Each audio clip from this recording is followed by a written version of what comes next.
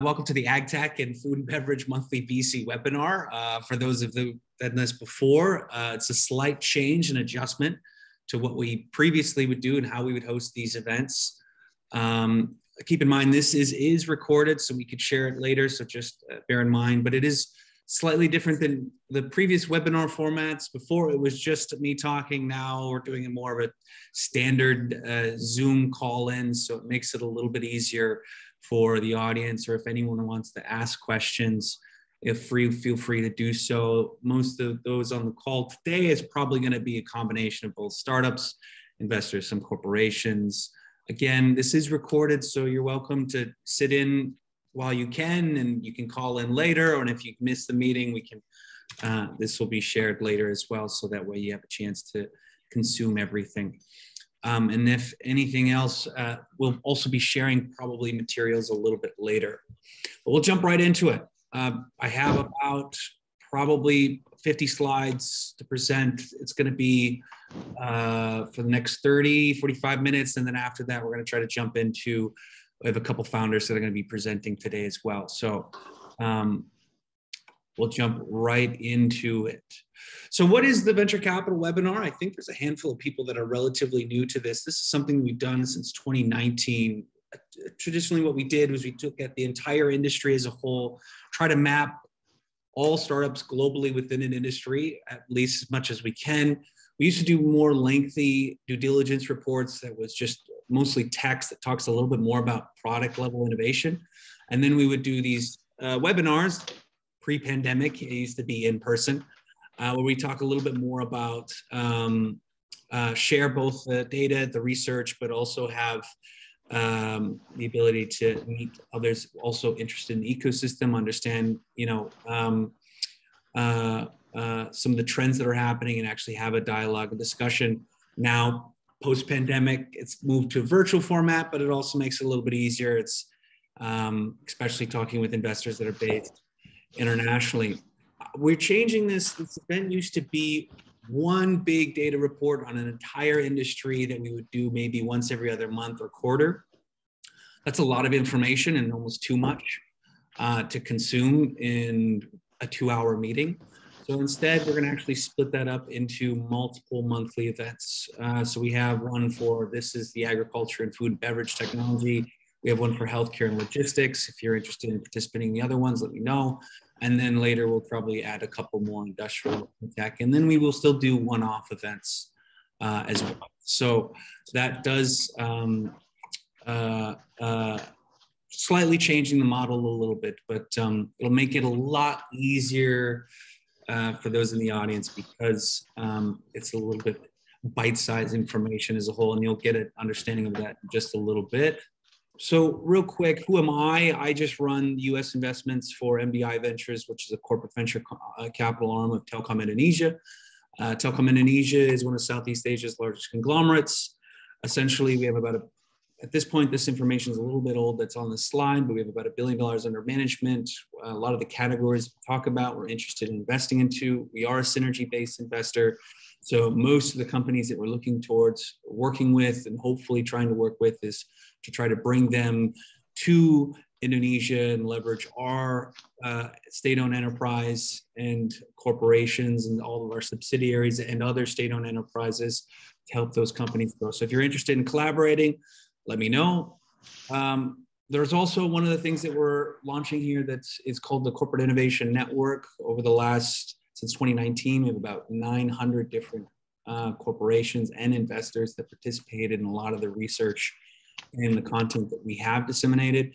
Um, probably we're putting together more of a formal group that makes it a little bit easier for corporations specifically that want to have a little bit more deeper conversation about technology companies uh, that would benefit one another. Um, so if you're interested in that, let me know. Um, but we're going to jump into the presentation. I'm going quick, but feel free to um, uh, ask uh, any questions throughout the phone call. Um, uh, the um, one thing that I'll probably have you guys do as well, mute yourself. But um, the agenda today, we're going to go quickly over, uh, we're going to do a quick uh, agriculture industry overview. similar to those who've attended before. It's uh, more or less um, how do I define agriculture and food and beverage industry as a whole based on the startups that we've tracked. Um, it has more macro level financial insights and more or less helps you understand where money flows. Um, it's a lot of detailed information, so you may have to look into it a little bit later. Um, but that just helps set the tone. We're talking about farm software category uh, today. Um, and those that specifically is both farm management and imagery. I'll define a little bit more about what that means and how that kind of how we got there from the agriculture and food and bev industry as a whole. So we'll talk a little bit more about the product level of where's the innovation happening, how are those categories defined. The goal of that is to help the audience have a better understanding of what does it mean to have a farm, what is farm management, how does that actually split apart? What are some companies doing at a product level? What do they actually offer? Um, so that way that as a group you have an understanding of where you might want to be spending your time uh, and where might there be some interesting product innovation that uh, as an investor you might be interested in.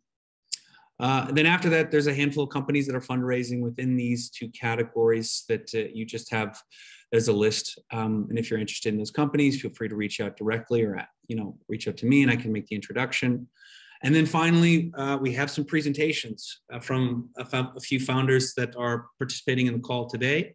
They're, they are highlighted within these categories, both farm management and imagery. We're super excited about um, not only what they do, they, we've already highlighted them within this report and previous reports, um, but having a little bit more, uh, giving them the opportunity to kind of share a little bit more about their product, why it's unique, um, and allow some questions from the audience too. So that'll make it a little bit easier of kind of breaking this entire industry of agriculture down into an individual company and why these individual companies are important. To get there, it takes a lot. Um, so hopefully this presentation structures it a little bit better and gives you the confidence, especially when looking at some of the companies that are presenting a little bit later.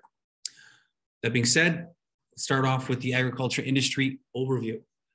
Um, uh, and by the way, again, feel free to uh, uh, ask any questions if you feel um, uh, throughout the presentation. I'm going to go relatively quick because I have a short amount of time and I want to give uh, founders a, enough time to present their products. Uh, but feel free to jump in or send a question. And if we don't get to it, we'll, we'll address it at the end. What is the agriculture and food and beverage industry? If you look at companies around 2016 to present that have raised any type of uh, capital, uh, it's about 5,000 companies across 18 major categories, about $120 billion in aggregate funding. Is this everything? No, uh, but it tried to, my goal is to try to include all companies that I could possibly find. Um, it, this does not include cannabis products software. This does not include financial products for the farming industry. Uh, this also, these 18 major categories, it's a combination of both uh, farming, agriculture, food and beverage, but it also gets into uh, restaurant solutions. Uh, we have, there's media products in there um, and a few others. So it's, it's pretty wide um, uh, reach. But um, uh, most of these companies, by the way, that are tracked of the 5,000, only 39% of them are actually based in the United States this kind of uh, slide gives a, a, kind of a, a, okay overview of where a lot of the, some of the other companies are mapped, but not foolproof.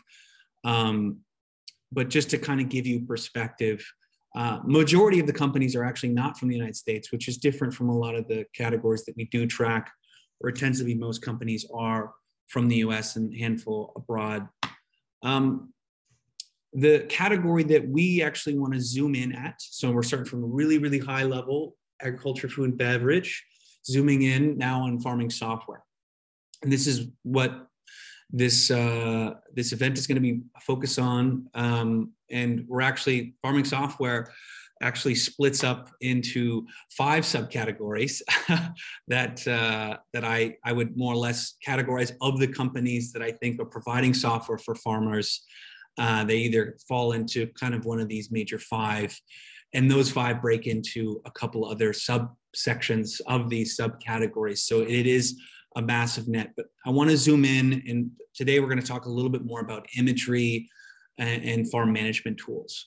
There's nothing really too um, uh, uh, uh, that stands out significantly when it comes to uh, statistics, just to kind of give you a rundown of what these columns actually mean so you can look it through it later. Uh, funding is the total aggregate funding of all the companies that are tracked within that space. And number is the companies that are actually the quantity of companies that are providing that product. Uh, the average funding is just relatively the average quantity of funding that each of those 68 startups, for example, have raised. Um, the exit percentage is companies that have uh, um, uh, exited or been acquired, have gone public, uh, relative to the total number of startups within that category. Um, the close percentage is more or less the companies that have closed relative to the total. Watch index, we have spreadsheets that kind of mark what are the companies that are the most interesting and that you should be paying attention to as an investor within those categories. Um, the watch index is kind of more of a gauge of where you should probably be spending your time um, looking into. And so um, that's just the number of quantities that you should pay attention to relative to the total. And strategic indexes, uh, startups that have are raising or have raised money from either an agriculture company or a tier one VC. So it's a little bit more zeroed in on where is the industry investing its money um, relative to the total number of startups in the industry. And then average valuation is just a different way of looking at average funding. Based on the average funding, what is generally the average valuation of companies within the space. You'll notice that for farm software, uh, most of the average funding is around it's nine million dollars. It's it's uh, relatively lower than the industry total. And you know, if you look at all the startup categories that we've mapped, um, it is uh, the average funding is actually uh, a lot lower than um, uh, than normal. But this is partly because a lot of these companies are abroad. Um, and what that means is that most startups in the United States have average funding is much higher than what is actually abroad. There's nothing else outside of the ordinary when it comes to what are um, exit trends or closed. I think it's pretty average. The the benchmark that we've seen for almost every industry, not outside of agriculture, it's around 10% companies get acquired. Um, uh, around 4% of companies close, so that seems relatively average. Uh, but obviously, we're talking about imagery and farm management today because it seems to have the most interest, especially from, from the Watch Index and Strategic Index. So we're going to jump into that and a little bit more specifics. Um, so let's talk about farm management. What is farm management? Well, I think farm management, generally at a very high level, is companies that are providing software that primarily helps farmers manage the farm's life cycle or the crop's life cycle. Uh, it's pretty broad and generic way of describing it, but I'll, I'll talk a little bit more on what it means. But um, these are mostly companies that have a variety of different software modules that more or less just tell farmers what they shouldn't do and and how to manage operations. It's pretty vague, but we'll get into it. When you look at farm management as a whole, of those 74 companies, I said around 50% of those companies you probably should be paying attention to. Of those 50%, those are what are the logos here that we're highlighting. So these are the companies that you probably want to be uh, be aware of. Um, there are, if you want the full list of companies, you can email me afterwards. But uh, just for your sake, this is what you should be looking into. Farm management actually breaks up into, I think, three major subsections, and we're going to talk about each one. Um, there's general management, there's specific management, and there's farm networks. And I'll talk a little bit more about what those actually mean. Um, uh, and uh, what are some product level innovations at each one of those subsections that uh, make and, and, define those subsections and also what you should be kind of watching for just real quick, especially for the investors, um, based on the companies that have been acquired uh, within the space, uh, whether it's mostly just M and A's, I uh, and there's one IPO here. Current valuations, um, it seems like it's at ranges. It seems like it would be hovering around that $100 million mark. It doesn't seem like farm management achieves billion dollar outcomes, for example. Farmer's Edge was one use case in 2021 where they went public at around a $600 million valuation but their current uh, market cap sits at 60. Uh, but you also, if you look at the revenue, they're doing around $7 million in annual recurring revenue. So just be wary on, and, and this is not surprising based on the average valuations of, of these startups within this category. The exit price for companies within this space is gonna be around that $100 million mark. Most of the companies that are those 74 that were shown in the slide, they're pretty spread abroad. So it's not just really focused in, in on the United States. Um, they're, they're quite a bit across both Europe, Asia, even South America. So general management, the one of the subsections of farm management. Uh, how would, what is general management? And you can kind of see from the description, it's more software that has a variety of different tool sets that help farmers manage their crop life cycle, but it's not really specifically focused on an individual crop type, uh, nor does it have a uh, spe- uh, specific use case or consumer that they're trying to target. It seems a little bit more general or broad, uh, working with a variety of different crops. A lot of these companies, if you actually look at them, it's not one product, it's a combination of software modules that help farmers uh, again, manage operations, manage finances, uh, manage uh, the crop life cycle, et cetera. Why I included both farm management and farm imagery categories as a whole into one presentation today is primarily because they overlap a lot. A lot of the companies in the farm management category, for example, use a lot of imagery uh, to both analyze and provide insights and help with the management and the operations of crops. Uh, they're not, I didn't categorize them as imagery companies because that is not their core focus. Um, the, bigger trends, uh, just an, an, an, important takeaway for this category that you'll, you'll see is a lot of the companies are trying to highlight that they have the ability to help farmers either automate tasks or uh, uh um, uh, be able to predict yields or outcomes or be helped more or less just automate some of these processes that farmers would go through. And so this is something that uh, um, is, uh, if you look at this space, it's it's pretty broad. What are the actual primary functions of most of the companies within the farm general management subsection? So if you go to their websites for every single one of these companies and you look at a lot of their software modules that they offer to the farmers, this is at a product level what it looks like. And you'll notice uh, this uh, dotted highlighted box. These are the major, if you almost all of these companies on the left hand side here that are featured, all of them offer very, very similar uh, uh, software modules, some more in depth and more unique tools than others, but for the most part, it's pretty straightforward. It's everything from managing field activities, the back office, there's always a business intelligence dashboard, Almost all of them have some form of satellite imagery component added into it. There is this crop life cycle management tool. Um, there's a lot that goes into logistics and tracing as well, both on inputs and then also um, helping and, collaborating with more of the downstream players for farmers. Um, managing machines. I mean, it's just every uh, every touch point that a farmer goes through. This is majority of what companies are offering here. So it's again, it's a combination, a group of software modules as opposed to one product. And again, there's if you go through each company's, this include all of the primary functions, but you'll notice that there's a handful of other things that companies tend to tack on as a feature or an additional tool set, whether it's managing vineyards, whether it's managing livestock. Um, it's a combination of it's just a mix of software that kind of gets thrown into the mix. These are just pictures of examples of startups from on the left hand side, what those products actually are and what they kind of look like, just for reference when I'm referring to this. In the past, I just had text and it's a little bit much not as enjoyable to consume and also understand uh, what I'm referring to. Um, this makes it a little bit life a little bit easier. But the other thing I wanted to highlight, so for every category and subsection that we're going to go through today, we're going to talk about the product primary functions. Next, we're going to go through software features and services. And then after that, primary customers.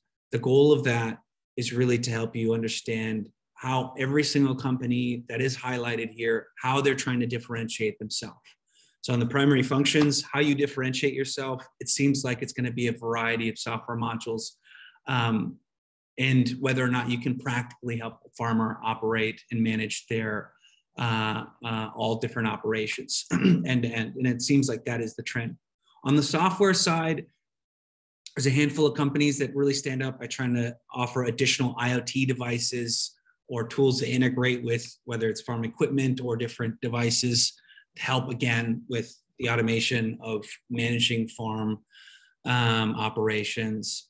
Again, we talked a little bit earlier. One of the bigger trends for general management is that um, uh, to automate different operations uh, within the farm. And then there's another big trend that it seems like a lot of these companies are highlighting here as a, a really big feature of their product is traceability and being able to understand both the inputs and the life cycle of their crop, especially for uh, their partners downstream that they work with. Um, I'm going to try to go a little bit quicker. Uh, I apologize, but I want to make sure that we have time for those that are presenting today. But on the farm management category, most of companies within the space are targeting farmers. A lot of the software modules have practical use cases for other ag tech stakeholders. And you can kind of get an example of that here. And if you go into their product toolset, you'll see that how they on their website they actually discuss how they are you know going after financial stakeholders in addition to farmers um, etc most of the companies within the general management category are focused on industrial large enterprises not these small and mom uh, pop shops, you know, or emerging market farmers. This is really, these products are for industrial farmers. These are the companies you'd be paying attention to. I think one of them is going to be presenting today that we've highlighted within this section. Oopsies. Um, uh, the next subsection is the specific farm management. It's pretty straightforward. It's oper farm operation tool sets, but more specific to um, an actual crop, whether it's vineyards, grains, insects, for example, trees, fruits, and nuts. Um, a lot of the similar functionality. It's just these companies tend to have a little bit more uh, build their models that are modules that are much more focused on these specific uh, crop types. And these are the companies you should be paying attention to. Uh, again, I will share these slides afterwards, so you'll have access to this. And then farm networks. So this is the last subsection of farm management. Farm networks, you could probably argue with me that a lot of these companies are marketplaces, and I would agree with you. But most of these companies are trying to target emerging market farmers. Um, so most farmers that are in third world countries, as an example, in Indonesia, most rice farmers, majority of the ecosystem is made up of a farmer that owns maybe a half an hectare of land and is very rural uh, and um, that is basically the entire majority of rice within Indonesia is grown, for example, from um, a very fragmented farming ecosystem of mostly smallholder farmers. A lot of these companies, when I call say farm networks, are kind of catering to those types of farmers. And a lot of what they do is they provide a lot of mostly a mobile application and its content and its advisory support and its imagery that helps with farmers more or less just understand how they can improve yields, manage different operations. It's not too complex, but they tend to layer a lot of marketplaces or services, financial services, or other services to more or less monetize that ecosystem uh, because most of those farmers are not going to be paying for a subscription service. And what does that actually look like? It, most of them the reason why I put it as a farm network category is for, for, a lot of these companies, you could argue with me that they are marketplaces, is a lot of them provide a mobile application that helps farmers understand um, ways that they should improve uh, uh, their crop. And uh, even a good chunk of them actually also include more of a social network component as well, or a forum that allows farmers to communicate with each other in ways that they can improve operations.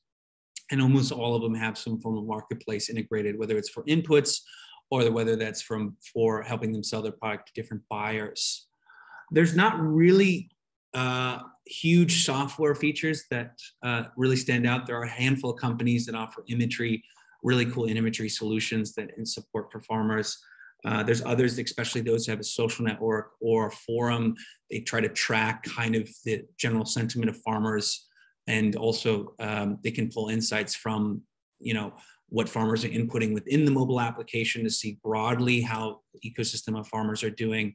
But for the most part, how these companies monetize is through a variety of services. And that is marketplaces we talked about earlier. There's financial services, everything from like soil testing, advisory. A lot of these companies also have some type of agents or centers, especially in rural areas that can integrate or you know interface with farmers, um, et cetera. And again, most tend to focusing on selling directly to farmers. A lot of them actually also provide tool sets that work with other ag tech stakeholders. Um, I'm going to move relatively quickly um, just so that we are staying on track. I apologize. I know I'm going fast, um, but I think we have an awesome list of startups that are presenting today. So we will get into that in a little bit. Uh, the startups that you should probably be paying attention to in this space are listed here. Actually, two of them are going to be presenting today.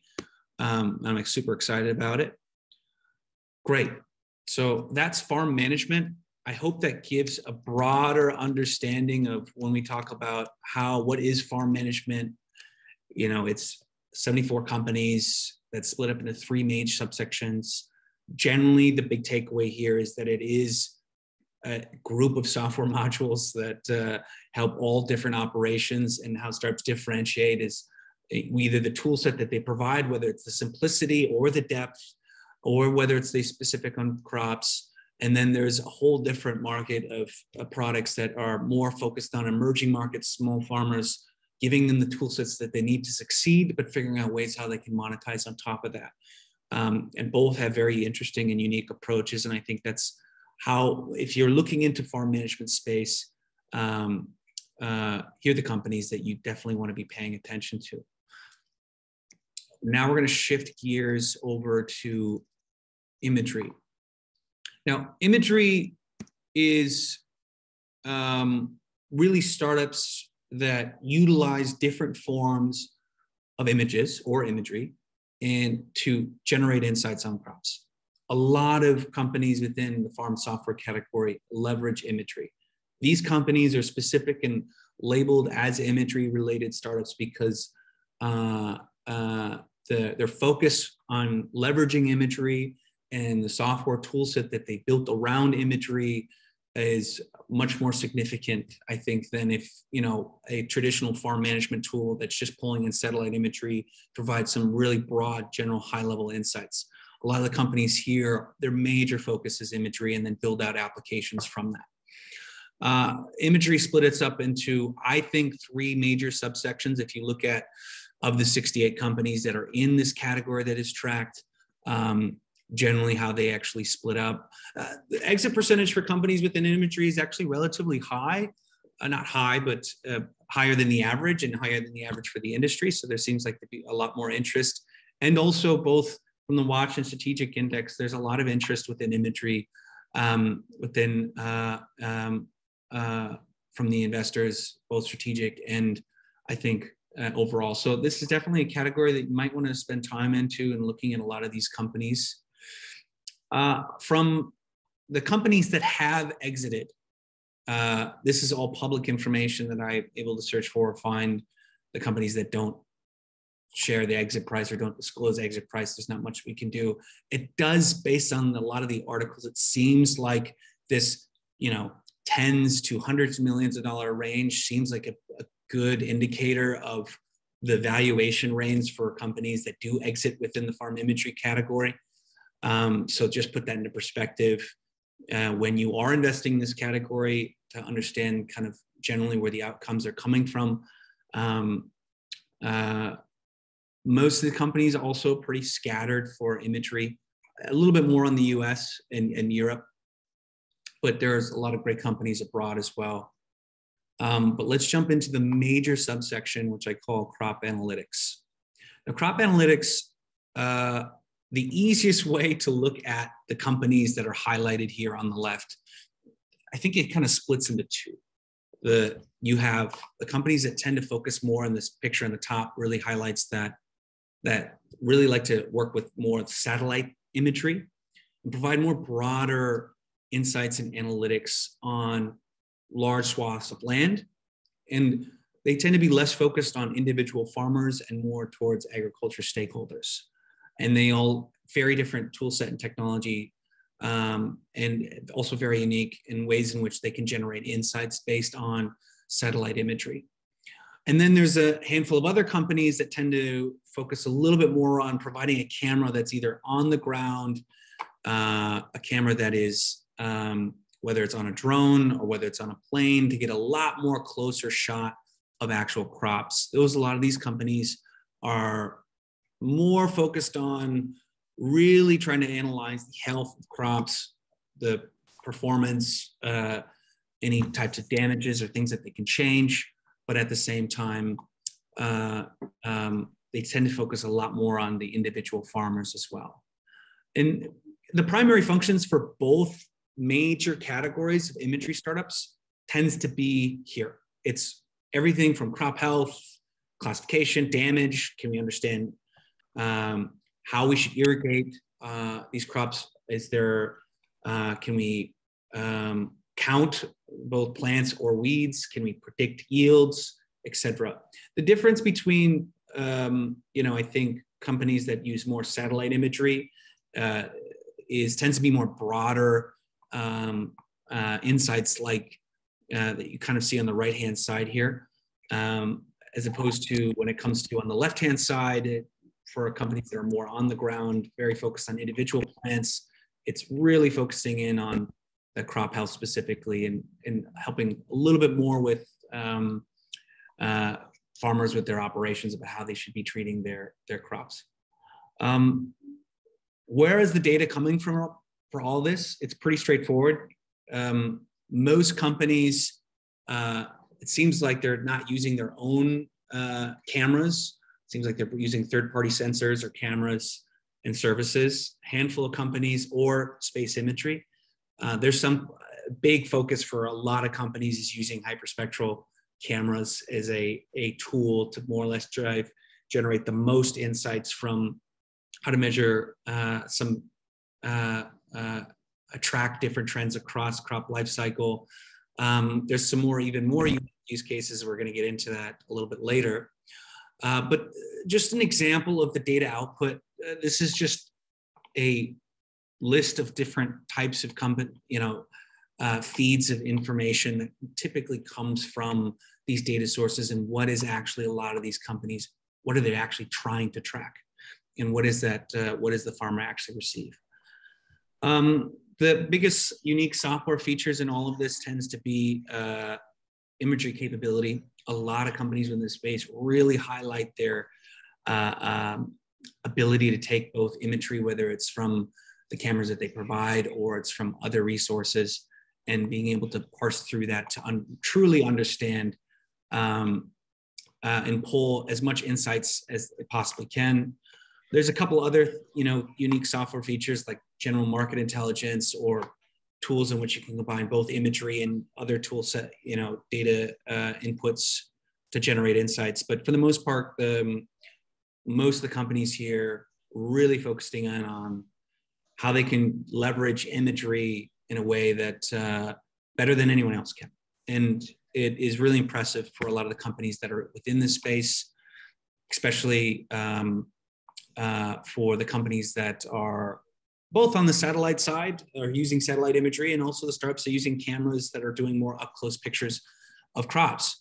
Now, again, those that are doing more up close pictures of crops tend to focus more on directly of the farmers. Those that are doing more satellite imagery tend to work with more agriculture stakeholders, not as much in the farmers. Um, but there is a, a handful of companies that do a combination of both. Um, the companies that you should be paying attention to within the space are listed here. Uh, uh, uh, we're moving perfectly on time. I know I'm going relatively quick, but we're, we're doing really great on time. Um, and we're going to jump into presentations here shortly. Uh, the next subsection of imagery is I call crop management. I know that already uh, is, you could argue with me that that's crop management. We just did farm management category it could be a lot of these companies could be listed here.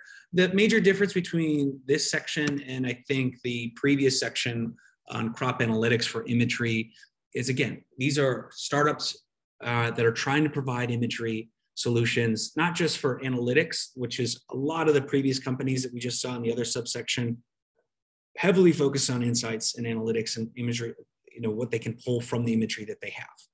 Companies that are more on the crop management side, these are startups that tend to both do very similar things, pull a lot of insights from the imagery that they have. They are heavily focused on imagery, which is why they're within the imagery category. But a lot of a big focus of theirs is um, uh, they tend to add a couple more software modules that help not just with generating and pulling insights for farmers, but being able to say, okay, from that insights, here's some action levels or action items that we can take, um, or tools, dashboards, or tools that we can provide help a little bit more with the operations or managing that crop itself. Um, and a good example of this, some of those functions, if you go through this list of companies here on the left side, you see a combination of, I mean, there's there's this you know crop monitoring and performance that already exists within the analytics category as well. You seem to see a little bit more of collaboration tools. You see more field management applications. Then there's you know modules for things like pesticide management or irrigation management. Some getting further is input recommendations. A lot of the crop analytics categories and startups do the same thing as well. Um, uh, the primary difference here is that these companies tend to have a, it seems like a little bit more uh, modules that are tacked on on top of the imagery insights. Data sources, also very, very similar of how it's collected. A variety of different cameras, satellite imagery, sensors. Um, some of these companies tend to also highlight pulling more information from a variety of sensors, not just imagery.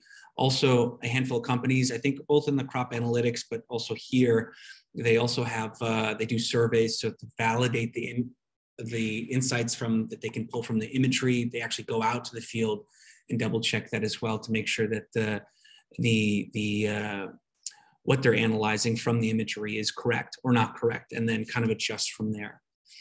Uh, and the data output, again, this is not uh, this is just examples, uh, not all of them. There's so much of insights that can be pulled, and you saw that from the other slide as well. But uh, this is what these a lot of these companies are highlighting as the primary output.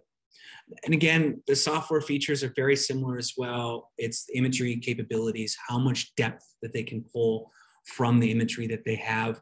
Also, a big focus on imagery lately has been um, uh, being able to generate insights, carbon insights, and uh, to understand uh, and kind of fuel uh, this um, carbon credit marketplace uh, that's really popping up. And you'll see a handful of companies that can try to generate and measure, I think, generally broadly sustainability insights. Um, on top of that, a lot of these companies also offer a handful of tools and services uh, both marketplaces, financial tools, et cetera. So again, just a handful more modules and services that exist, which is why I put them in a separate category and they called it crop management. And again, no, no surprise, most of these companies are focused on farmers. They have a handful of modules that and tools that work with different agriculture stakeholders uh, based on the imagery that they're working with. So it's kind of a, a good blend companies that we you should definitely be paying attention to are listed here. Uh, we have a few companies that are within the imagery category that are uh, presenting today too. So I'm super excited about it. But that's it. That's a high level overview of both how we went from the agriculture industry as a whole, 5,000 companies, to kind of zeroing in on 500 that are farm software, and then from farm software zeroing in on around 150 that are within imagery and management that tend to get a lot more attention from investors. And then being able to understand at a product level which somehow they break apart in farm management and imagery the subsections of those and what are each of those companies doing at a high level uh, product level fund, both on not only what is their primary function how they're collecting data but at the same time um, ways in which that they are providing unique software service features to stand out from each other and their primary customers.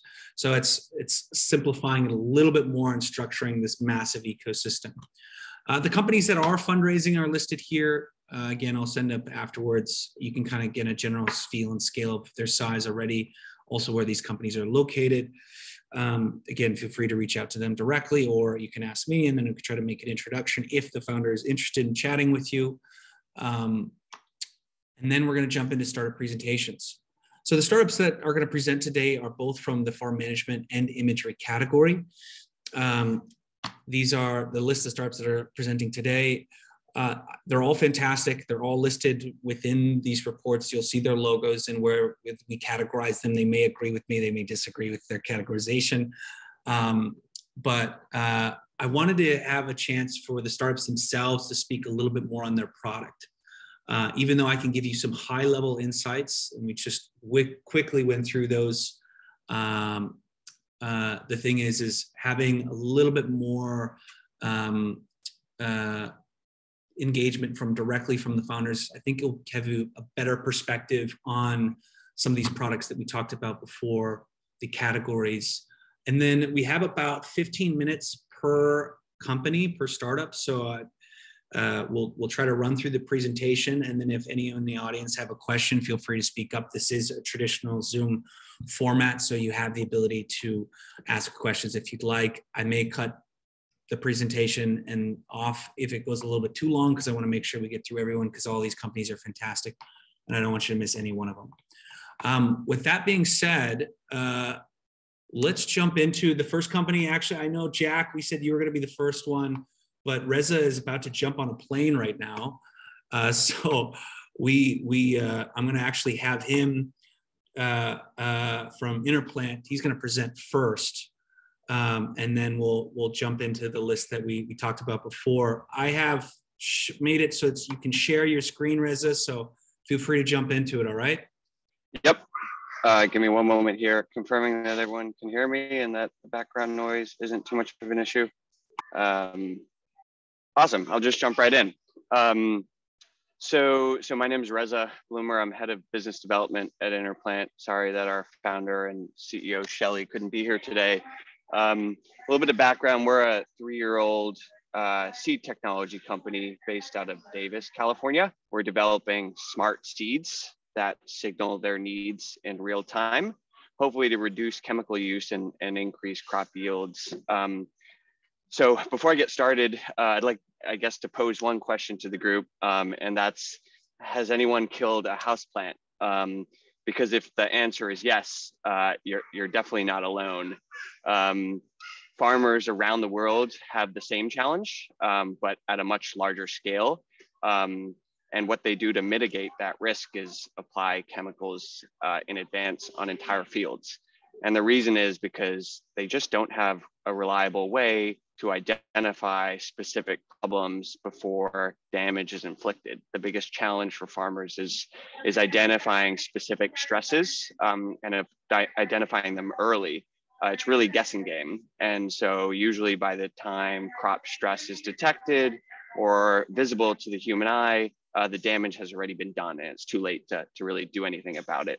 So what do farmers do? Every year, farmers in, in the US consistently use uh, lose 20% of their, their yields to, to pathogens and at the same time spend 250 billion on pesticides and, and fertilizers to try to, to, to ameliorate some of that. Um, about 30% is, is misapplied or overapplied, which ends up polluting our water and soil and food supply. So this risk reduction strategy of prophylactically applying chemicals in a blanket fashion cl- clearly isn't working. Um, so the question is, what if plants could tell us uh, exactly what they need? Um, and that's what InnerPlant is doing. We, we bring in the missing data by recoding plants to signal optically when and they're thirsty, uh, when they're being attacked by pathogens, or when they need more nutrients, um, effectively transforming entire fields into living sensors um, so that farmers can acquire the knowledge they need to make the right agronomic decisions in a timely manner. Um, so in practice, what that means is, you know, enabling farmers to, to, to understand what the plant needs and when, and uh, provide optimal care to each plant based on those individual needs. Uh, so how exactly we do that? Truth is, we know a lot about plants. I work with a lot, a lot of plant molecular biologists and plant pathologists who obsess over how plants are reacting to stress and to their environment. Um, and plants like humans have unique immune system reactions that are activated within hours of the emergence of a stress. Um, we effectively at InnerPlant tap into those natural response pathways by combining the native genetic regulatory elements with what we call our, our sensor genes, these fluorescent proteins. Um, so on the left, you'll see two tomato crops side by side. In both plants, we've induced drought conditions um, by, by, um, by straining them um, without water. And um, when looked at through a spectrometer, you'll see that the control crop on the left is not visible. And then the InnerPlant crop on the right is, is signaling that, that it's stressed with, with the glowing. Um, this, is, this is within 24 hours of, of the induction of the drought stress. Um, so in short, we use biotech um, and these fluorescent proteins and, and have found a, a really cool way for plants to create a, a scalable and easy to collect signal um, that can be read from, from as far away as satellites um, or, or, or proximally from, from tractor booms or drones. Um, so the traits embedded in the seed, which means no changes to the farmer's operations and no additional work. Farmers just plant the seeds as they always do and, and harvest the data um, uh, which, which will provide via remote sensing. Um, and this means that farmers can start to shift away from the prophylactic blanket applications and really uh, treat plants on a crop by crop basis, do localized treatment to be more efficient with their applications um, and hopefully uh, uh improve the overall health of fields and increase yields. Um, so, so why are we so committed to this vision? The answer is because we believe, you know, uh, plant by plant farming is is the future. Um, we're living at, in an era where plants are sort of at the center of everything. Um, a shift from the indiscriminate application of, of, of, of, synthetic fertilizers and chemicals to, you know, more precision care, um, sense and act technologies, um, individualized crop care. Um, and a connected farm hopefully will be powered by our smart seeds um, so that we can remove some of the risk and uncertainty from farming and, and do so at scale in, in, in every plant. Um, this new reality is going to be better for farmers. Um, you know, we've done the math and can share supporting models. Uh, you know, 20% higher yields, 30% less chemicals, uh, making farming more profitable and sustainable and product, productive for the for the farmer. Um, and, and then obviously it's also better for the planet. You know, we could remove up, up to half a billion metric tons of, of CO2 equivalent by eliminating the unnecessary chemical production um, as well as use, um, and then increasing soil carbon sequestration with, with more biodiversity in, in our soils. Um, so if you're intrigued, please visit us online. Um, plenty of resources and videos on our website. Of course, I'm also happy to chat. So if there's interest in learning more about investment opportunities or, or, or partnerships, if you're in the industry, uh, please reach out to me directly. Um, yeah, thank you. Awesome. I appreciate it, Reza. And I know I, I, included you within the imagery category, and I think you're one of the more uh, unique uh, examples because you're coming from more of the biotech side, so you could probably be categorized yep. there. Uh, anyone from the audience, if you have any questions, feel free to jump in and, and, and ask Reza if you have um, Otherwise, I'll probably ask a question here. Looks like Bruce has one. Yeah, go ahead, Bruce. Uh, yeah, I'll be speaking shortly. We're in the industry. This would be fascinating. Do you know what crops have you worked with so far? Yeah, so we started um, with research crops, Arabidopsis and tomatoes. Um, those produce a lot of seed, are easier to transform. We can grow them here in California. Um, but uh, from a commercialization standpoint, it's it's it's a focus on cash crops and row crops. So soybeans first. That's where we've completed plant transformations. That's what we plan to go to market with, um, and what we've started field trials for. Um, and from there, natural progression into corn. We've got you know early research done on canola and cotton. So so um, uh, commodity crops that have GM adoption today. Okay, thank you. Yep. So, for example, what is some of the um, is the uh, ways in which you engineer the plant is it just kind of a uh, more of a binary system where the plant is stressed or it's not? Or is there other ways in which you can engineer the plant to show other aspects of what's yep. the issues they may have or what they might need? Yep. Yeah i think the the the real value is not only that the signal is early um, it's the biological reaction, right? So it's going to be much earlier than you know a reduction in biomass or a reduction in chlorophyll fluorescence, which you know we're we're we're um, tracking today with traditional indexes. So it's early, but it's also specific. So we're going to have unique colors, unique fluorescent signals for different stresses, uh, probably broad categorizations of stresses. So a fungal pressure, an insect pressure, a nitrogen deficiency. Um, so, so, so yeah, there'll, there'll be um, early and specific indicators uh, and it likely will be binary to start. Um, but the, the, truth is that, you know, with the right detection equipment, um, you can start to see um, uh, it, it at a, in a gradated fashion, right? Uh, stresses, uh, uh, stress increases, peaks, and then dissipates depending on when and how you treat uh, the crop. So uh, with the right equipment, we can start to see the number of genes that are activated and that that'll correspond to a stronger signal or a weaker signal. Great. Well, Reza, I really appreciate you jumping on and doing the phone call. I know you're about to jump on a plane right now, so I'll let you go, but thank you so much. And if you have any questions, um, I think uh, Reza will follow. Well, uh, we have your email address. I think we saw that on the slide. So if anyone has questions, they'll reach out. Yeah, thanks for the opportunity, Kyle. Uh, yeah, anyone, please reach out. Be happy to chat. Thank you, Reza. Cool. Well, moving on. Uh, the next company that I wanted to highlight um, is Perennial. Uh, Jack, he's the CEO and co-founder. I believe Jack is here. Um, hey, Kyle. Good morning. Jack, how you doing? Good. Thanks for thanks for having us. Absolutely. Jack is also within the imagery category. I think they have a really impressive uh, um, software technology stack, but at the same time, your approach, what we talked about, that some of the trends that's happening in imagery is understanding carbon sequestration. I think you guys are also really leaning into that as well. And then your platform actually also works outside of agriculture ecosystem. I think with you know more industrial stakeholders, et cetera. So a little bit more interesting. But it's the floor is yours, Jack. Thanks, Kyle, and uh, grateful for everyone's time. So, you know, at Perennial, we're building the carbon removal platform for soil. So when we think about the carbon markets overall, you know, it's estimated that about 85% of global emissions are covered under net zero commitments. And so really the problems that every major corporate faces is a trusted supply of carbon offsets. There's far more demand than there is supply. And so our thesis in this space is we believe that soil, agricultural soils, is the largest untapped carbon sink. And so if we can untap that supply through measurement, reporting, and verification, then we will in fact have through our software uh, a touch on the largest supply of carbon offsets that would be feeding to some of the corporate buyers. And so our vision as a company is to unlock soil as the largest carbon sink. And we're doing that by building rigorous standards and technology to underpin the generation, verification, and transaction of these carbon offsets.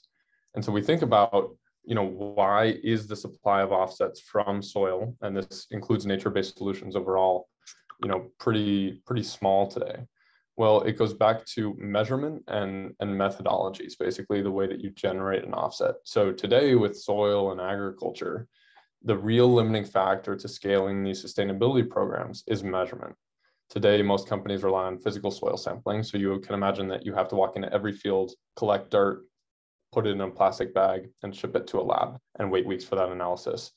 The important point is not even um, the cost or the labor that's required to do this.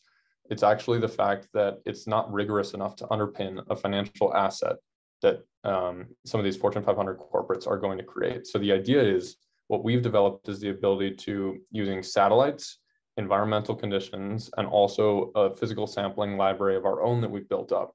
We map soil carbon on every field in the world. Today, our focus is really on the US and Australia. And what we do is we use those measurements to monitor carbon levels in soil. And then we're able to basically verify carbon offset generation. To talk a little bit more about that technology, basically what we do is we look at environmental data to classify different fields. And we've developed a machine learning model which is pretty much pattern recognition. You have a bunch of physical samples, you match that up with satellite data, and then for every about five meters in a field, you basically measure soil carbon and you can aggregate that information into an accurate field level supply shed or, or country level estimate. We really started with soil carbon, but as we progressed as a company, we realized that you know we don't want to be a single pipe that measures soil carbon into someone else's platform. We want to be the platform that underpins sustainability within agriculture. So we've built out the ability to look at net field level emissions for agriculture. So this is soil carbon plus nitrous oxide plus methane. So when you think about the product build out, um, you know, as, as Kyle was saying, uh, most of our time is actually really spent on software and business development with our clients. Um, you know, we, we really aren't just kind of an, an imagery and data provider. And so the way to think about it is we have a stack of environmental data, um, almost like a Zillow, which classifies a field. And then you have uh, different folks in the agricultural supply chain who are interested in this data. So you have people who are buying land. Land is going to be classified based on environmental data very soon. It already is. And we have clients there. We have clients that are big banks. We have clients who are ag lenders, um, fertilizer companies, seed dealers, et cetera. The way to think about this company, Perennial, is that for agricultural companies, we have a platform that supports insetting in scope three, where they can reduce the emissions tied to the ingredients that they're purchasing. For corporates outside of agriculture, Perennial is verifying the supply of carbon offsets, working with ag companies who are product developers of these offsets to help them verify and measure these offsets for corporates to meet their net zero commitments. When we think about sustainability programs that have popped up in agriculture, there's really a bifurcation between carbon offsets and insets. So some ag companies have sponsored carbon programs where they part, pay farmers to perform practices that regenerate the soil, planting cover crops in the off season, not tilling the soil, etc. So those are specifically where you're paying farmers to perform regenerative practices. These companies need an MRV, measurement reporting and verification. That's where Perennial comes in to help verify and be the data layer, almost like Plaid with the financial system to make sure that those credits are generated. And on the other side of the spectrum, you have CPGs, grain processors, uh, et cetera, who are looking to simply measure and reduce the environmental footprint within that supply chain.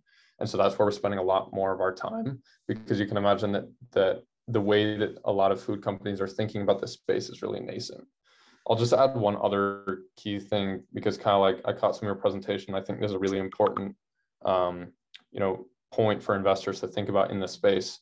Remote sensing in agriculture, especially in carbon markets, is not um, one size fits all.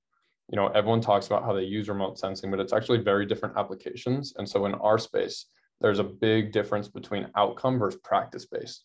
So when you look at companies like Hummingbird, Regrow, people who are doing amazing things in the industry, where they started and where their focus is, is on using satellite imagery to verify that a practice has occurred. They verify that tillage has um, whether or not a field was tilled. They verify whether or not a cover crop was planted. We're outcome based. So we measure the actual outcome to soil carbon and net emissions based on those practices and regardless of those practices. And we feel this is very critical as we think about different SEC guidelines and as we think about um, emissions reporting. You know, we think that verification of practice, which stands up sustainability programs like a sustainable beer based on cover cropping, uh, you know, that that's not the future. The future is actually being able to measure emissions and see how that's changing. Um, so just to close up, uh, you know, in terms of go to market, as you know, Kyle said, we're B2B. We don't really work with farmers directly. Um, we want to be third party and non-competitive to all of our clients, who are these major ag companies who own and manage the relationships with growers. And so from a fundraising standpoint, um, you know, we've raised about $25 million total. In April, we closed an $18 million Series A led by Temasek and Bloomberg with participation from the Microsoft Climate Innovation Fund, Climate Tech VC, Mike Schroepfer, the former Meta CTO, and some others. So we're really excited about the fact that we have some pretty big investors who aren't just traditional ag tech investors, but people like Bloomberg and financial markets who understand that when you really look at this space about forest, direct air capture, agricultural soils, when you look at the carbon market landscape, agricultural soils and nature-based solutions need to be a part of the solution or else we're not going to be able to meet those net zero commitments. And for sure, from a financial standpoint, there's no way that these companies can meet their demand for carbon offsets. Awesome. No, I appreciate it, Jack. That's very clear and succinct. I don't even have any questions to follow up from that because I think you did fantastic in answering all of them. But uh, anyone from the audience have anything that they want to uh, ask Jack? Everyone's so shy, except for Bruce. Bruce, you're not shy. No, I'm just kidding. But cool. Well, Jack, uh, any other thing that you want to mention? Otherwise, this was fantastic. Thank you so much for the time. I really appreciate it.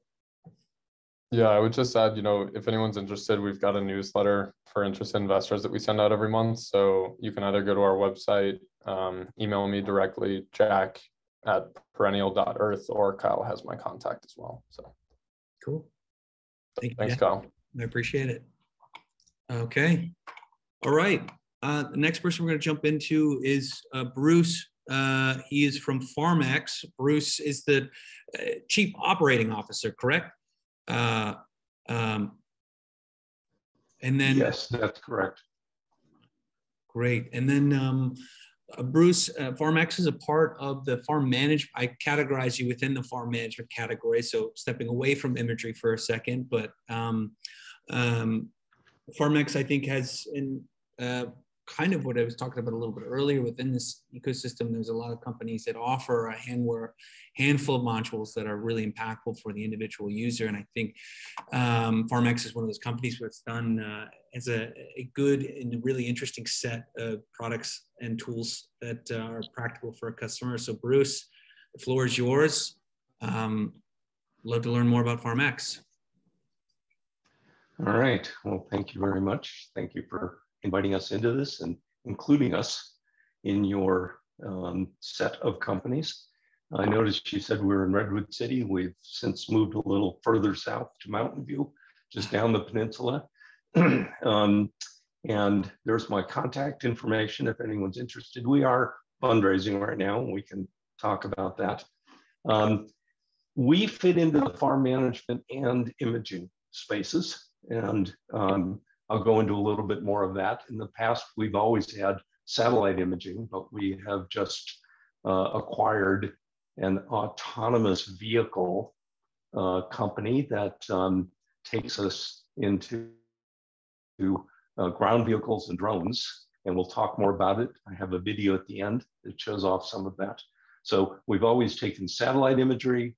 We use uh, forecast uh, ET, and we have a partnership with IBM.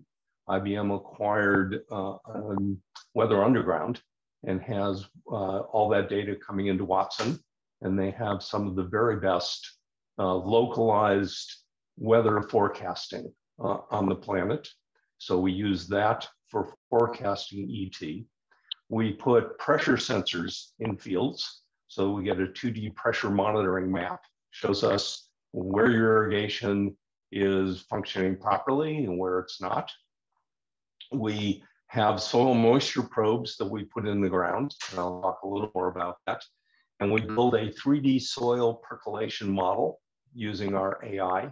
So we, um, we look at all of these inputs and we can tell you exactly how much water needs to be added at each point in the field to hit the target uh, VWC, uh, volumetric water content that you need for your crops. Um, we put in direct plant health sensors. Um, let me make a comment. People who do one thing will tell you that their sensors are all you need. So a plant health sensor might be a dendrometer, an IR sensor, a stem water potential device that gets plugged into a tree.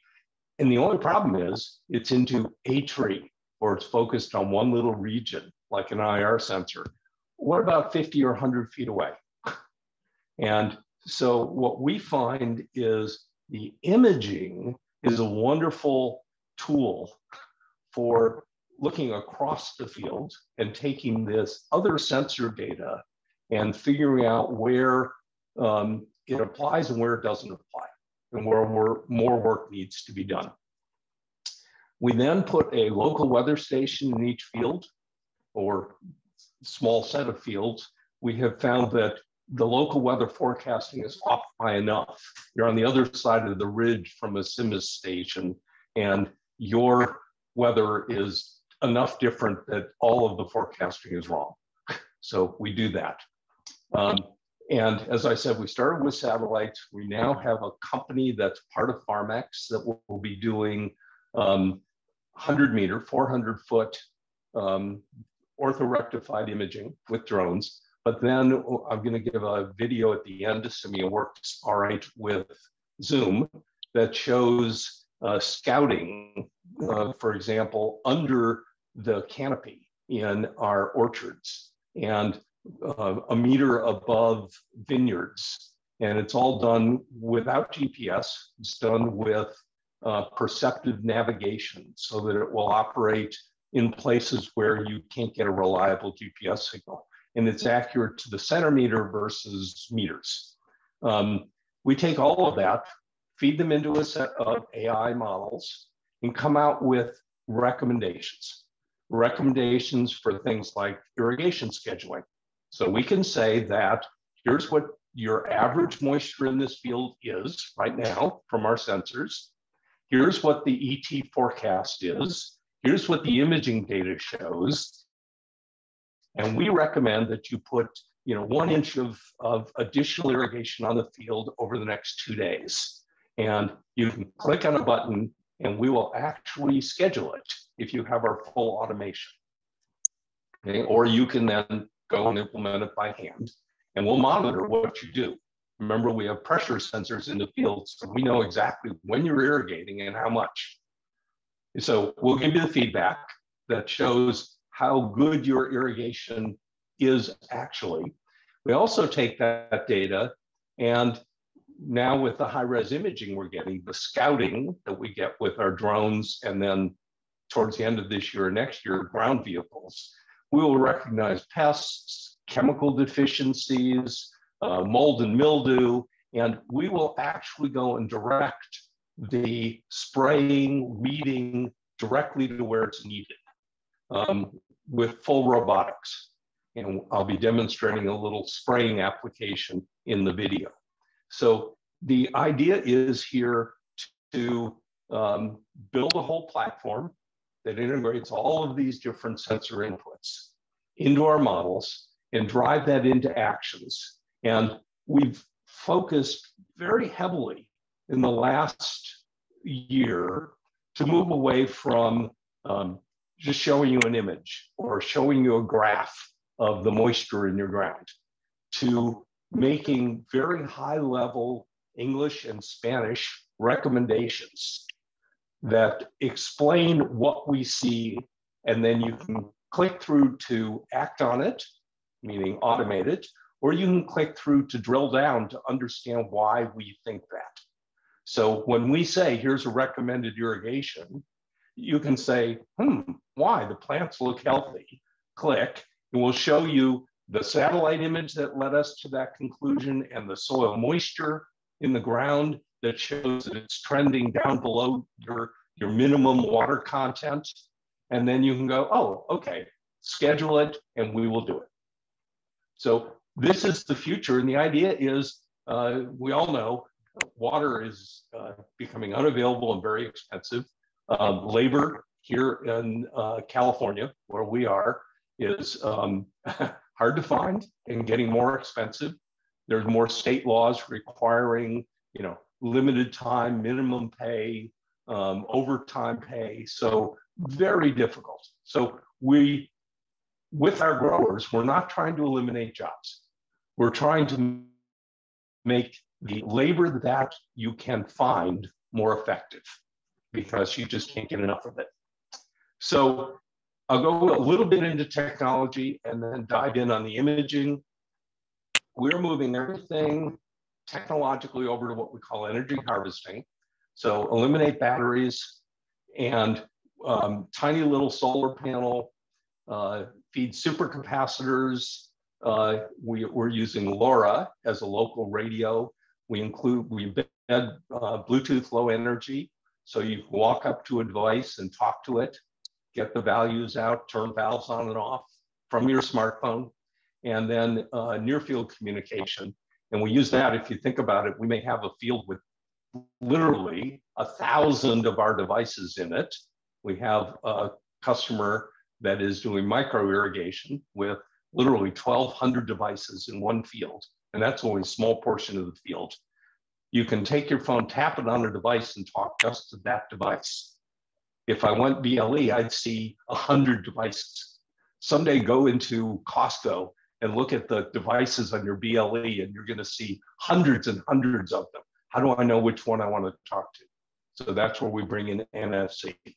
So we have this custom soil moisture probe, and if you can see the image on the right, on the far right is a competitive soil moisture probe, and each of those little circles is the volume of sensing that they do. And those big green ovals on the left are the volume that we do. So you can literally put one of our sensors between two drip lines in an almond orchard and see exactly how much moisture is in the root zone for a very large volume of the root zone. And so it's not fooled by a rock in the way or you know uneven soil. It sees right through all of it. Um, then um, uh, uh, this is sort of our new tech rolling out the door now. We're in field trials on this, and it will be deployed towards the end of this year.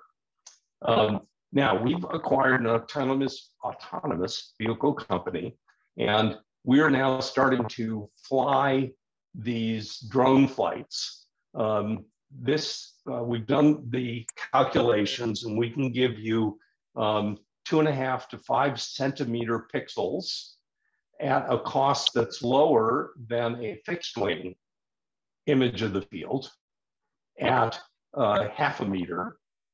So uh, 50 centimeters, or satellite at best is around three to 10 meters depending on who you get the images from. And this is multispectral, um, so we can do all of the same image processing, and we can do scouting using this. The resolution is good enough that we can, and I'll show you a little bit more of that. Um, you know, this is the kind of data that we're getting. So we can, and we're building the models to automatically recognize problems in the field. So here we're in a similar space as SeeTree, for example, which focuses on uh, orchard, um, mostly citrus, but also on almonds. We also work in vineyards heavily. Um, and uh, let me, okay. Can you still hear me? I can still hear you. Yep. Okay. Before I dive in on, I'll start uh, a video going. Um, any questions at this point?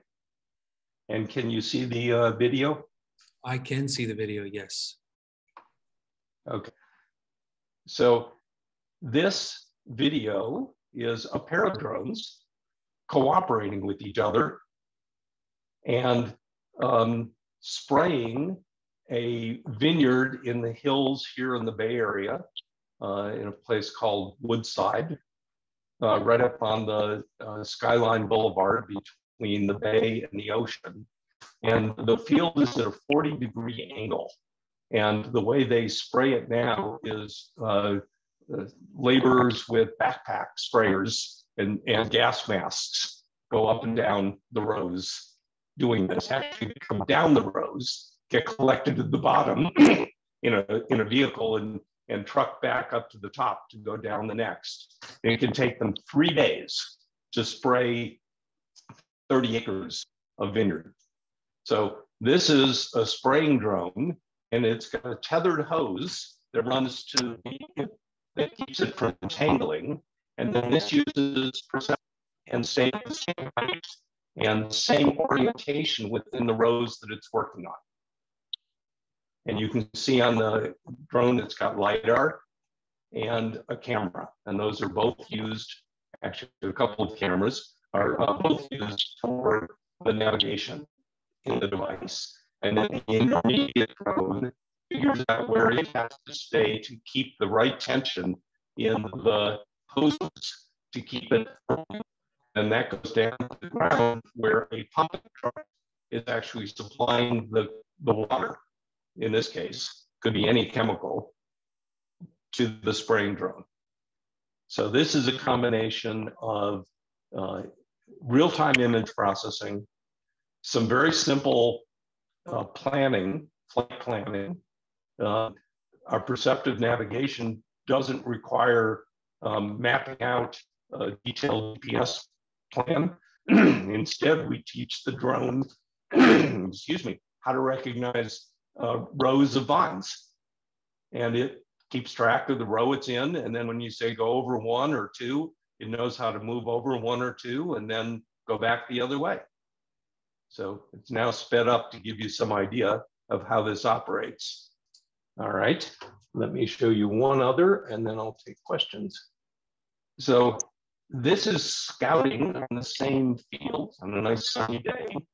And the drone is flying um, one meter over the vineyards and tracking automatically. And you can see from here that we can see the drip lines, we can see the health of the plants, you know, looking left and right, you can see and it will go down to the end, move over, and then turn around and come back. And the reason it turns around is the camera is on a gimbal on the front of the drone. And all of that is automatic. So setting this up, you simply say, here's the height I want. I want you to travel down the between the two rows, you know, down the middle of a row, and then hop over one and come back, or hop over two and come back if you're looking right and left you can uh, avoid flying every single row. Okay, I'll stop with that and take questions. Come on. Incredible. No, that Bruce, I think that's a great example of, um, you know, having talked about a companies within within your category, how you encompass both almost all tool sets. Both you're using sensors, you're using a variety of imagery, you are using drones in this case as well. And then at the same time, you're taking a handful of information, putting it together and providing automated recommendations, which is a great, fantastic uh, example of really the future of this category, which is great. My, my quick question I wanted to ask you, uh, but then we'll probably have to uh, move on here, is um, for, for an individual farmer, uh, how do they interface with the Farm(x), what is your what is the uh, business model that you typically go to market with? Is it is it just a subscription tool? Is it a by, by service? Is it you charge depending on the types of sensors or an application or tool sets that they need? I'm just curious when you bundle so many things into one, what how does that work with an individual farmer? So um, we currently sell directly to uh, large growers um, mostly in California, although we do have an installation in Washington and one in Arizona. Uh, we um, uh, offer two sales models, a as a service, you simply contract with us and we will put the, everything in and maintain it. You pay us a yearly fee and everything's covered, including maintenance and full access to the information for you and your staff. Um, or you can buy the equipment up front with a yearly access maintenance fee, more classical. Um, the latter is there because things like sweep grants require it. Um, sweep grants in California um, offer up to 200,000 per grower of money from the state to improve water efficiency and energy efficiency. Uh, state water energy uh, efficiency program. That's what SWEEP stands for. And um, many, many growers, they'll hand out a few hundred of them each year. And it's free $200,000, up to $200,000 to install technology like ours. We've won oh, 20 or 30 sweep grants over the last few years. Um, that requires a sale up front and a maintenance fee because sweep will not pay for a as a service fee. We're working with them, but they don't do that. They like to have the money budgeted, pay it, as opposed to have it spread out over five years. I understand. Um, so we we sell the large growers. We're starting to work with um, distributors, uh, working with irrigation uh, installers to take this technology to market. Our um, biggest backer so far is Kubota, a Japanese company that makes tractors and uh, four by fours and other vehicles. And we are working very closely with them to produce a whole family of autonomous vehicles over the next few years. Um, and uh, they are just starting to introduce what we do to their dealer network, which is worldwide. And they may evolve into a distribution channel for us. Exciting. Well, Bruce, really appreciate the time. Thank you so much. Uh, we have a little bit of time left, so I'm, I'm cutting the questions short here, but uh, fantastic presentation and, and, really great example. I'm excited about Farm(x). And if obviously, if anyone has questions, uh, you can see Bruce's email there, bruce at farmx.co. Um, thanks, Bruce. I appreciate it. You're welcome. If I can find the right screen, I'll try to unshare. Uh, maybe I can help. If you can do that, would be great. If I can things. All right. I think I fixed it. Um, yes. Appreciate it, Bruce. Thank you so much. Uh, we have, we might go a little bit over time, so I apologize, guys, but uh, uh, hang in there with me. We have two more companies that I want to present that are part of the what I consider the Pharm Network category. Both companies I think are really exciting um, as well. Um, and give you a different perspective on both imagery and management. Um, I think the approach that they take is more catered towards emerging markets and it's a lot more unique um, and practical for those regions. So first one I'm going to have jump on is Usman. Usman, thank you so much for taking the time. I've known Usman for a while now. Actually, pretty excited about what they've done already within Southeast Asia region. Um, but Usman, the floor is yours. Great. Thank you so much, Kyle. Pleasure talking to you after such a long time. Can you hear me? Yep, I can hear you. Okay. Okay. Super. Yeah, so thank you so much for the opportunity, uh, Board of Agriculture for agriculture. So what we're trying to do is take uh, agricultural data and then build a credit layer on top of it to come up with financial solutions for uh, smallholder farmers in developing countries.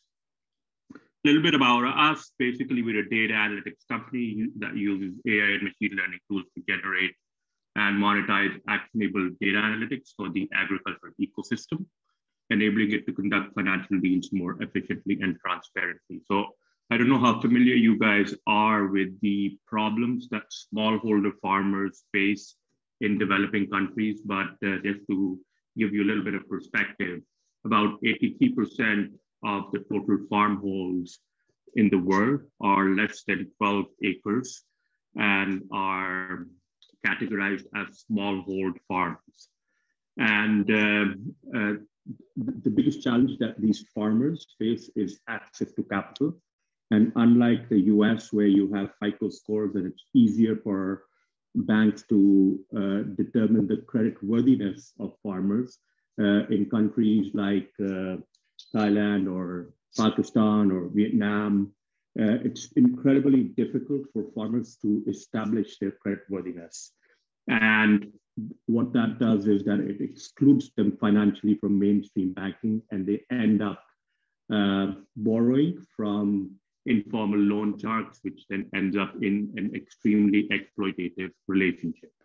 So Ricult is a social enterprise. We are headquartered in Boston and uh, we have uh, operations in Pakistan, Thailand, and Vietnam, and currently we're focusing on the South Asia and the Southeast Asia region. Uh, we were uh, Ricult 16 by four MIT alums, including myself, and we were also incubator program. Currently, we are completing a Series A round, um, uh, and we do have space in the round. So if anyone's interested, we'd definitely be interested in talking to them. Our business philosophy primarily is that those who feed us need us.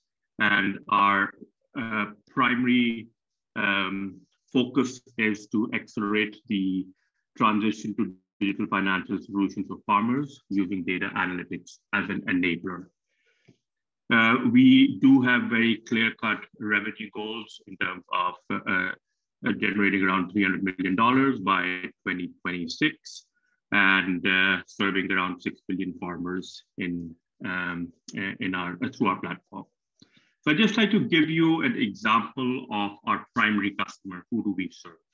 And this is uh, a picture of a real life example farmer in Thailand. And she's been growing cassava for three generations. And she has to make suboptimal farming decisions due to a lack of information and financing to invest in high quality farming and technology. And even though she can produce more, she has to harvest early because she cannot uh, afford payment for her family. So she harvests and loses 20% of her total yield. And this costs FUFA um, 20% of her net income and also 60% of her disposable income for the year. So this is a classic example of the kind of farmers or farms we're talking about. And um, uh, this is something that you'll see a lot in South Asia, uh, South Asia, Southeast Asia, Africa, and to some extent also in Latin America. Our secondary customers are banks, crop processing mills, and input suppliers. And I'll just in a minute tell you how all of this integrates. Uh, but uh, coming down to the problems that we try to solve, one, as I mentioned, is financial exclusion. Smallholder farmers are excluded from mainstream financial products. And then information asymmetry. Again, smallholder farmers do not have access to near real-time prices and market information, which again forces them to make suboptimal decisions. So the solutions that we've developed primarily are based on sourcing data from multiple stakeholders within the agriculture value chain, including remote sensing, uh, banks, farmers, uh, mills, uh, and other input supply companies. So what we do is we collect data through uh, different stakeholders through either uh, a farmer app, which farmers can download for free, either uh, through the iOS or the Google Play Store. Uh, and then we analyze and process that data through our AI machine learning algorithms. And then we monetize that data by selling actionable insights to relevant stakeholders like banks, mills, and um, uh, input supply companies. So this is a win-win model for everyone because in return for data, farmers get access to uh, information like hyperlocal weather, they get access to crop scouting tools, they get access to near real-time uh, pricing information, they get access to loans, and uh, in return, they provide us with data, which then helps us build our uh, statistical yield, uh, statistical models like yield forecasting, like crop classification, like harvest detection, all, all and all kinds of information which can then be uh, useful for stakeholders in the value chain. And this is again uh, another form of hearing what we do. Uh, you can see the different stakeholders who are providing data to us, like remote sensing and suppliers, telecom companies, banks, farmers, and crop processing mills. And all of that goes into our platform. And then uh, it's monetized to service everyone in this space. Uh, the, the overall market is huge. Uh, I, I, won't go into a lot of detail here, uh, but uh, overall, uh, if we look at the primary market for both Pakistan, Thailand, and Vietnam, it's in hundreds of millions of farmers. Uh, I'll quickly go over to the farmer app now. This farmer app, uh, this is a, these are some screenshots of the farmer app that we use. Uh, the farmers can download this for free. And uh, we have more than 800,000 downloads. We have covered around 2 million acres um, of farmland, which is in our database and which we then use for building our crop models. We have uh, a fairly active uh, farm base as well. And all of this actually then helps us in building the net effects that are so important in. Uh, then this is the agent app. This is the second uh, source of data collection, uh, which we provide to the field teams of the partners that we work with, like the banks, the uh, mills or food companies and the input supply companies and their field agents go out in the field and collect data, which then again is used to um, build the crop models or, or, or, actionable insights that we monetize. And then the end result is uh, Ricult X, which is our proprietary dashboard, analytics dashboard, and these are some of the examples. That's the kind of work that we then monetize. This is a yield forecasting model. This is a classification model that we share with different um, organizations. Uh, this is a, a, credit scoring model, and all of this then leads to us generating revenue through our secondary customers while servicing our uh, services that they need. So the way we make money is that the banks, the mills, the input suppliers all pay us uh, uh, a revenue, and the farmer gets access to in-kind loans, uh, which is his biggest pain point, and also gets access to uh, information, uh, which helps him then improve his productivity and his income. So this is just uh, um, a snapshot of our, of our founding team. We have four founders, and all of us are from MIT. And uh, yes, right now we, as I mentioned, we are in the process of raising funds. We uh, we we have uh, space for another million dollars. So if anyone's interested, very happy to. I guess that's it from my side, Kyle. Um, Fantastic. Oh, thank you so much, Usman. I really appreciate it. Uh, any any questions from the audience? for Usman? And if not, uh, we'll probably move on to the next company just because we're already over time. But Usman, thanks again so much for sharing. And I think uh, what's exciting about your product is, again, what you're providing is you're targeting a massive set of farmers that have a huge need that needs to be fulfilled. It's really hard to reach those farmers in a way that's scalable, practical, um, because it's not like the United States or Europe where you can charge farmers themselves subscription fees or management fees or anything else. Uh, you you definitely have to build out a tool set and, and uh, ways in which you can monetize as well as help the end customer and also you're helping a lot of different agriculture stakeholders so i think that's a really great example um, thank you usman so the last company great thank you so much Kyle. absolutely uh, the last company I want to get to is uh, EzyAgric Uh, we have George, who's the founder and CEO. George, are you still here? Maybe here, he may not be. Yeah, I'm here. Can you hear me? Yes. Uh, eh, George, I, I noticed the name is George William. Do you go by George? You go by William, or is George William? Yeah. So any. Uh, okay. Yeah. Well, hey, thank you so much for joining. The floor is yours. Um, Georgia was uh, also a part of EzyAgric, is also a part of that farm network category. They're doing some really impressive things uh, within Africa. And so um, it would be really interesting to see a little bit more about what they're working on. So, George, yours. Sure. Thanks, Kai, uh, for the opportunity. Hope everyone can hear me, uh, but I'm going to take Kai's word uh, to represent everyone. So I'm uh, I'm from Uganda. Uh, right now I'm in Kampala, in, in Africa. So um, our solution, or the problem which you're trying to tackle, it's a little bit related to majority of the solutions which you have had. So I'll not dwell so much um, in that particular regard of the problem, but I would like to show the perspective of Africa. Right now, the, the core problem which is facing the continent is that uh, if at all someone doesn't know, right now Africa is producing over 300 uh, tons of uh, probably cereal uh, crop, but it has potential producing over 800 tons, metric tons annually. That's 3x. You're looking at almost 3x ratio. And the biggest gap why it exists is because of the yield, uh, the yield capability of the content, which is able to put value chains. And uh, the reason why it's like that because of currently agriculture is predominantly dominated by smallholder farmers on the continent. And they're doing it as something there to, to just eat and they're not doing it as a science. So they're not appreciating that actual agriculture is a science.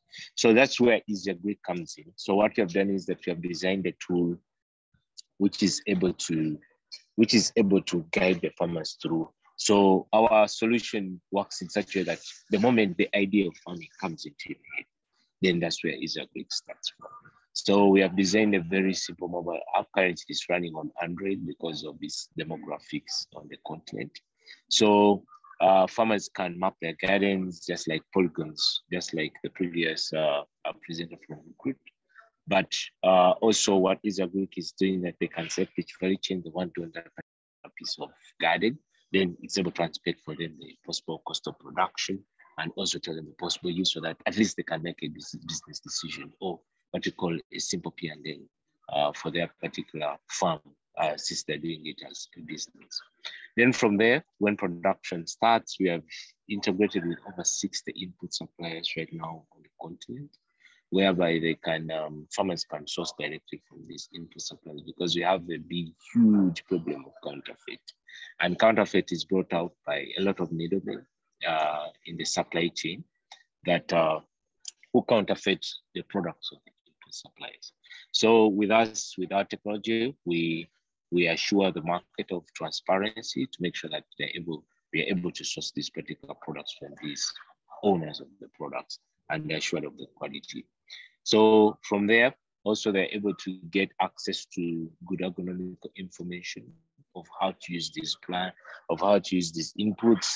If at all you talk about seeds, by inputs I talk about seed, I talk about fertilizer, I talk about crop protection, I talk about drugs, I talk about feeds, all that kind of things which are required to make sure that either you put on the your livestock farm or on uh, agricultural garden. So what happens that uh, right now people just plant seeds anyhow the way they want, not in line, not very organized farms like which I saw from Farm(x), uh, I think uh, in US. Then now we are talking about people just throw seeds anyhow. They don't know how many seeds per hole. They don't know how what's the spacing of, of the holes. They don't know how to apply fertilizers, all the kind of things. So we are packing simple infographic content, the infographic and image and a video so that they can easily relate to what they want to do.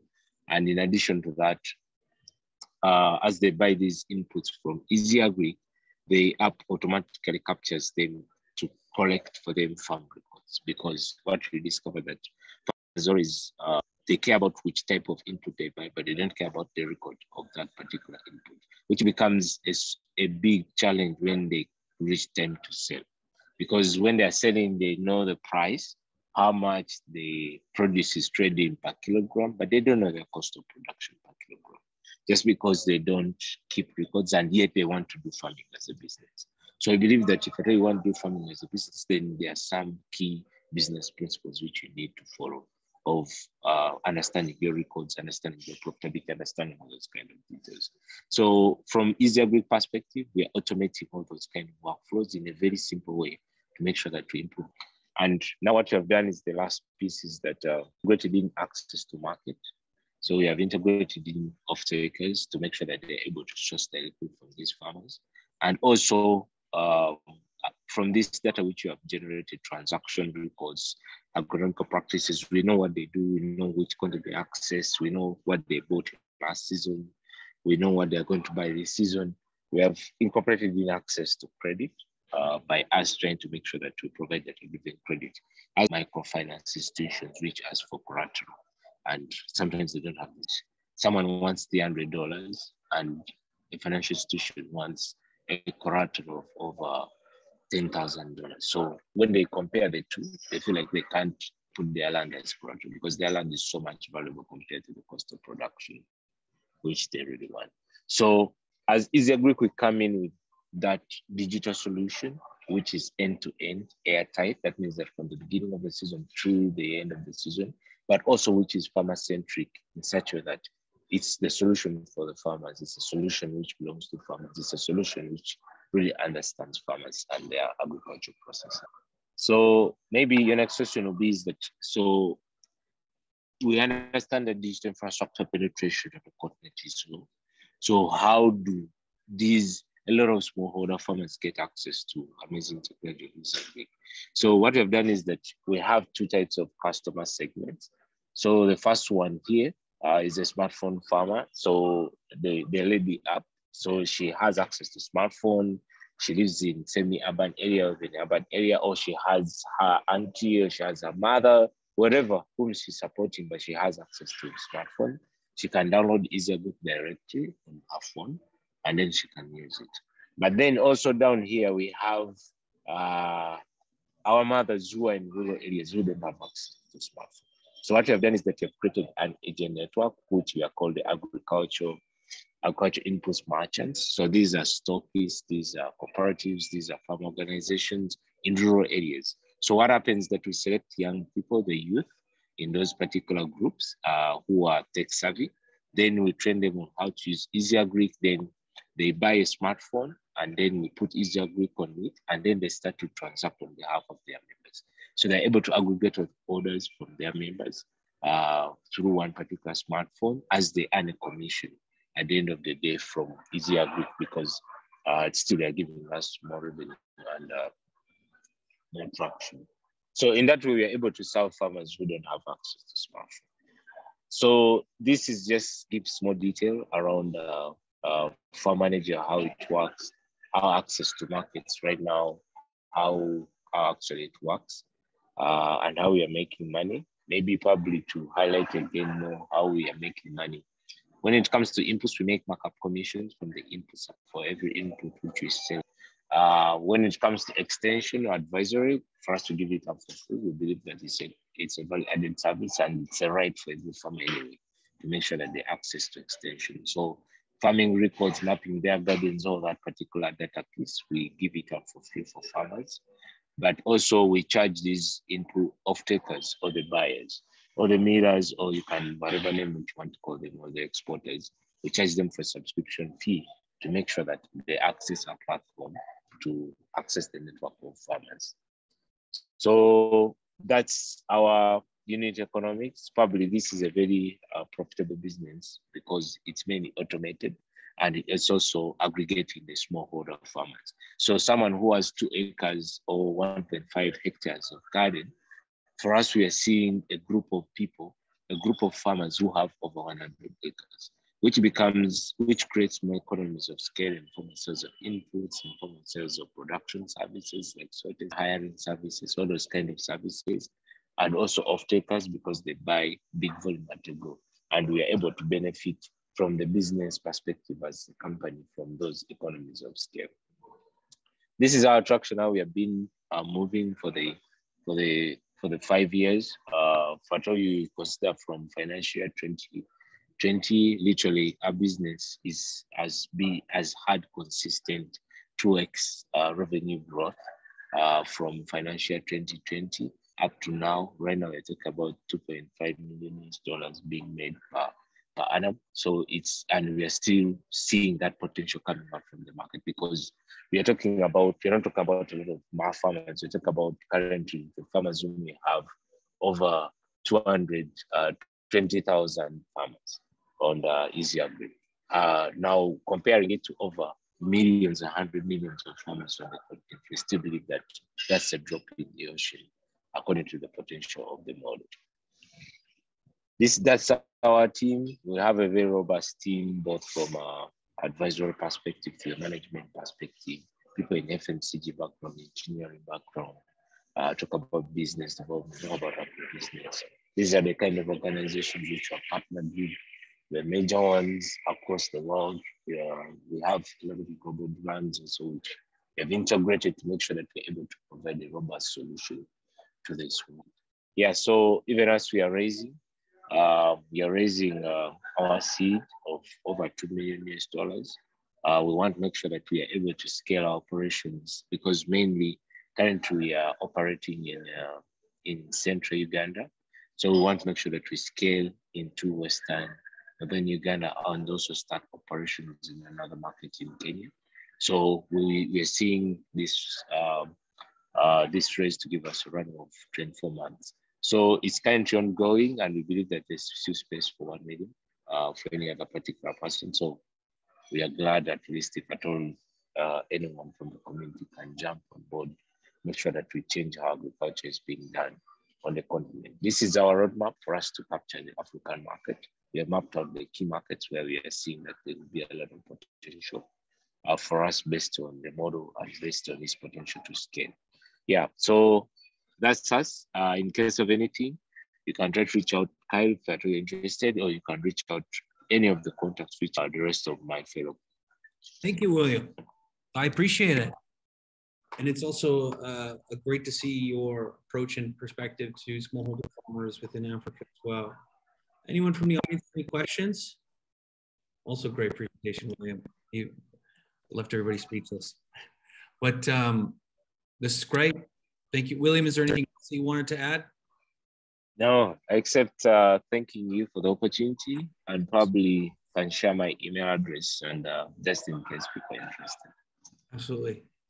Well, wonderful. Well, thanks everybody again for participating. That was the um, agriculture monthly VC event for farm software. I believe next month we might either do farm products or software, uh, but um, at similar time, basically the third week of, of every month on uh, Thursdays, we'll be hosting this. So thanks to all the those who attended today and thanks to all the startups that presented. Very excited about your products, It's why we highlighted you, but also I think the work that you're doing so far is pretty unique. And uh, at the product level, I think you're really innovating. So all of all the companies that presented today are really great.